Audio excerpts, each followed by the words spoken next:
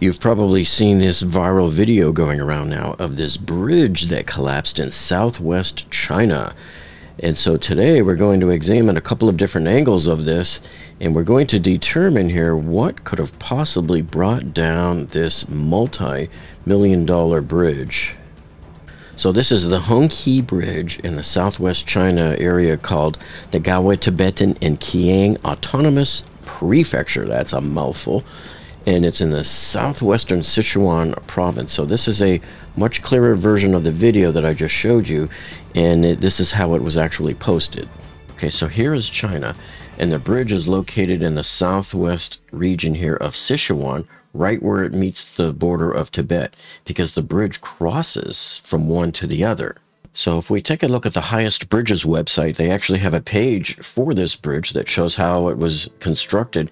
And you can see just how unbelievably tall and probably very scary to drive across this thing. I'd go nuts. So 761 feet high, or 232 meters, and a 722 foot span. So I don't know if that means just across these two here, or if it means across the whole thing. I would have to look into that a little more. Uh, but you can see right here, here's one of the engineering drawings, and it shows how it was built onto these steep hills on either side with the river running underneath like this. And I don't know if these are to scale, but these are the piles that they drive down, and I don't know how far they go. Personally, I think they should have tried to go all the way down to bedrock if they could find any, because I think that would have made it a whole lot more stable, and it likely would not have collapsed. And so here's some pictures of it when it was being built. And here's another one showing it. And I believe it's only one lane in each direction. But man, does that look scary. Ooh. And here's some more views of it under construction. And here's, of course, earlier in the construction phase. I don't know why when they post photos like this that, that somebody can't take a clearer shot. We are in the 21st century, after all. Here's a shot of the two main piers of this bridge when they were first erected. See, there's your cranes sitting on top there. And so one of the things that you can see, and this just leaves me with an uneasy feeling. Now, I realize it's under construction here and everything, but it's like, what do they do to secure these hillsides when they're done? I mean, these look really steep, and it looks like a lot of dusty, dry type dirt here. And I also don't like the fact that the base of this is, is just kind of exposed underneath. I don't think they ever took care of that. We'll see in later pictures. And here's when one of the piers was erected, but you can see that, you know, they've got other stuff going up. And it looks like they did try to build some type of a retaining wall here on this part of the hill. And that's what it looked like too when it was going up. And that's probably before they started. And then this looks like an aerial view of where they were going to build the bridge from the beginning. And this is other stuff showing the dam that's further down the river. And then I think a lot of the news media got it wrong as to where it is because because it is located in this, and this is a tongue twister here. What a mouthful! It's in this area here called the called the Ngawa Tibetan and Kiang Autonomous Prefecture. What this means, it's an area that China allows to sort of govern itself. But they said it was somewhere around here, like near Barkham, but that's not really the case. It's really about 10 miles away. So I don't know why they were saying that, but here's the area where it is. And even in the Google Maps satellite is off slightly because they're showing the bridge right here and there's nothing here. And at first I thought, well, maybe, you know, it's, it's an old satellite photo perhaps, but I found it a little bit up the river here. It's about almost a mile up the river. So what it is, is it's way up here a ways and I started to zoom in and I think this is where where the bridge is because you see this large pylon here and then here's the other one. Now the optics from their camera has it a, a, little bit distorted. That's why it's looking like it's off to the side a bit.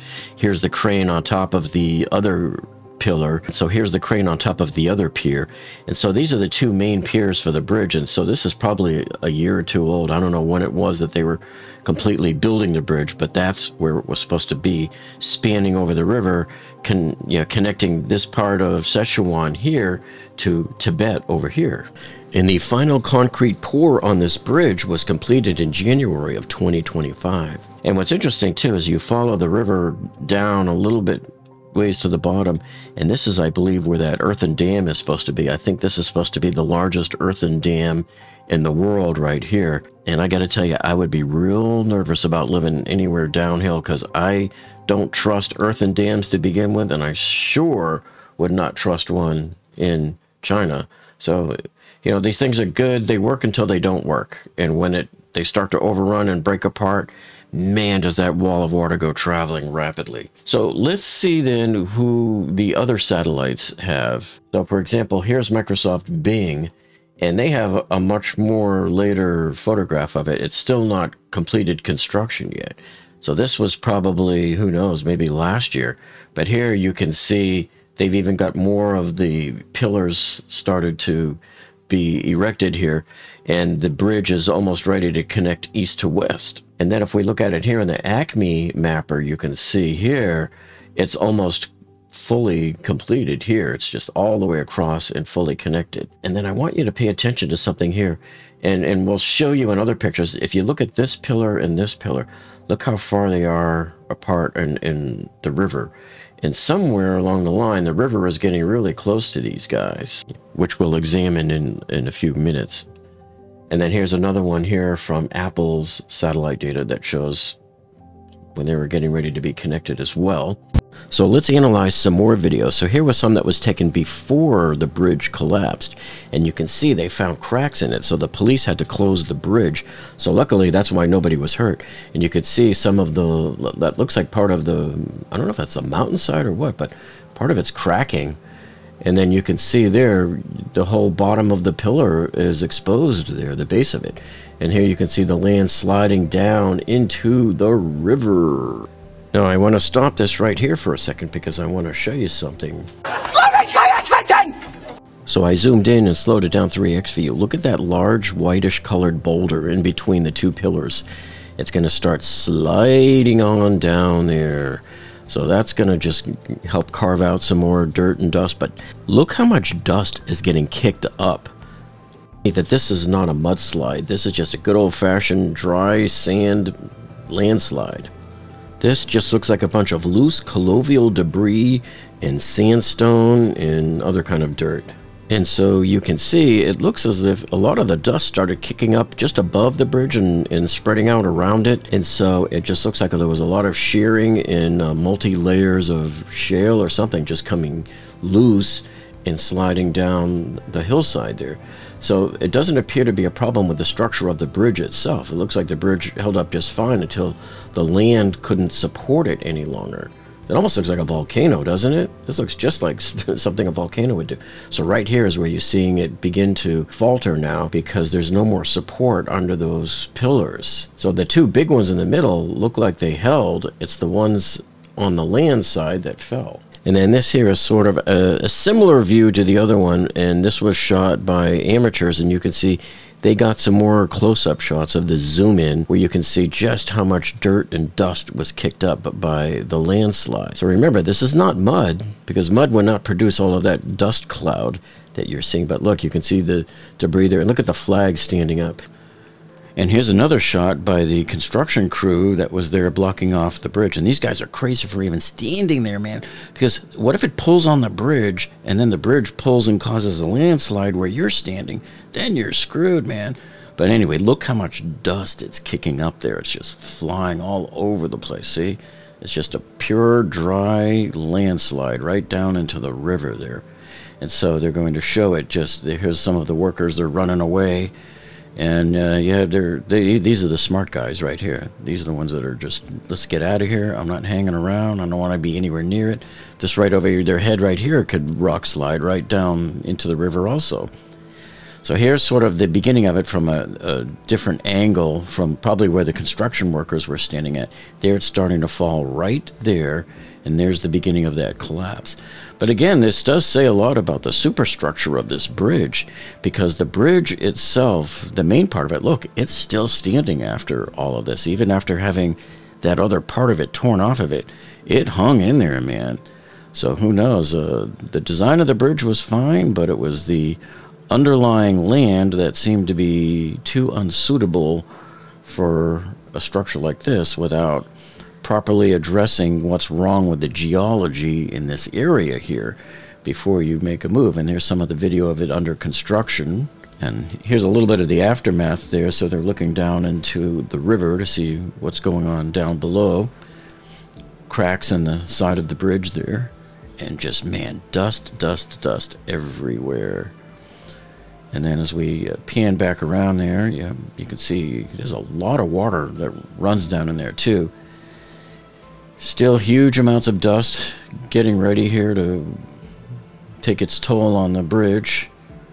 And there's more video of it right there when it was being built. This looks right around the time that the, the two centerpieces came together. And this might have been done in January. And so there's the overhead view of the two lane road going across. I'm telling you, scary bridge. And we've seen similar cases like this before. You might remember this famous collapse from 2009, also in China, where a completed apartment building under construction toppled over on its side because they were piling up mud on one side and sort of digging a little bit of dirt for a garage on the other side. And you had unlicensed people who didn't understand what they were doing and didn't do any proper geological survey or preparation of the ground. And the entire building toppled over and it killed one person. Something like six people went to jail. Okay, so what could these engineers and contractors have done here to prevent the failure and collapse of this bridge here in China? Well, I think that this collapse clearly shows us here the unbelievable importance of doing a proper geological survey of the underlying land before you build. I mean, it's required by code here. Wherever we build, anywhere here in Florida, we always have to do that kind of stuff. As a matter of fact, Disney World themselves ran into this because in the 1990s they were going to build this hotel called Disney's Mediterranean Resort, and it was going to be right there in Disney World on the Seven Seas Lagoon near the Transportation Center. And they found out that the soil there was not good enough to be able to build this building on. And I don't know why they couldn't do anything to fix it, but they looked at it. They said it was too expensive. They abandoned the project. They didn't even bother building it. And in terms of the geology of where the bridge is, um, I wasn't certain whether they had piles that go down to the bedrock, so I made this slide here to show you that this is sort of what you want to do.